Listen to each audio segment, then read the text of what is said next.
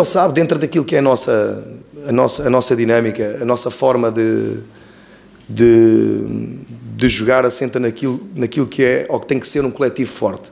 E dentro desse coletivo, obviamente, que existe esses jogadores, uns a atacar, outros a defender, outros a equilibrar, quer dizer, dentro daquilo que é o papel de cada um, tem que dar à equipa aquilo que eu acho que devem fazer. Quer dizer, uh, futebol é um desporto coletivo.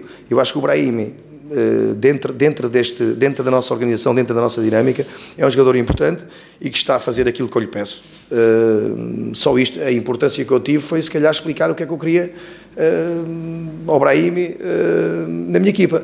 Eu não estou a dizer que os outros não explicaram, se calhar explicaram e queriam que o Brahimi fosse, se calhar, jogasse de uma forma diferente.